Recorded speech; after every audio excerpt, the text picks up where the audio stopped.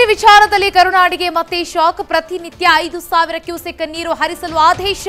ಸಮಿತಿ ಮತ್ತು ಪ್ರಾಧಿಕಾರದ ಆದೇಶ ಎತ್ತಿ ಹಿಡಿದ ಸುಪ್ರೀಂ ಕೋರ್ಟ್.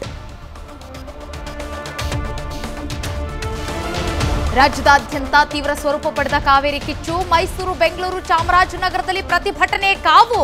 ಶನಿವಾರ ಮಂಡ್ಯ ಬಂದ್ಗೆ ರೈತ ಹಿತರಕ್ಷಣಾ ಸಮಿತಿ ಕರೆ. ದೆಹಲಿಯಲ್ಲಿ ಮೈತ್ರಿ ಸಂಬಂಧ ಮಹತ್ವದ ಮಾತುಕತೆ, ಕ್ಷೇತ್ರ ಹಂಚಿಕೆ ಬಗ್ಗೆ ಬಿಜೆಪಿ ನಾಯಕರ ಜೊತೆ ಎಚ್ಡಿಕೆ ಚರ್ಚೆ. ಕೆಲವೇ ಕ್ಷಣಗಳಲ್ಲಿ ಸಿಗುತ್ತಾ ಕ್ಲಿಯರ್ ಪಿಕ್ಚರ್ ಚೈತ್ರಾ ಕುಂದಾಪುರಗೆ ಮುಂದುವರೆದ ಸಿಸಿಬಿ ಡ್ರಿಲ್, ವಿಚಾರಣೆಗೆ ಹಾಜರಾಗುವಂತೆ ಹಿಂದೂ ಕಾರ್ಯಕರ್ತರ ತುಡುಕೂರು ಮಂಜುಗೆ ಸೂಚನೆ. ಇತ್ತ ಹಾಲಶ್ರೀ ಬ್ಯಾಂಕ್ ಖಾತೆ ಜಾಲಾಡಿದ ಅಧಿಕಾರಿಗಳು. ಕೆನಡಾದಲ್ಲಿ ಗ್ಯಾಂಗ್ಸ್ಟರ್ ಸುಖದುಲ್ ಸಿಂಗ್ ಹತ್ಯೆ. ಮುಂದಿನ ಜನವರಿಗೆ ಪಾಕಿಸ್ತಾನದಲ್ಲಿ ಸಾರ್ವತ್ರಿಕ ಚುನಾವಣೆ. ರೈಲ್ವೆ ಸ್ಟೇಷನ್ ಅಲ್ಲಿ ಕೂಲಿಯಂತೆ ಲಗೇಜ್ ಹೊತ್ತ ರಾಹುಲ್ ಗಾಂಧಿ.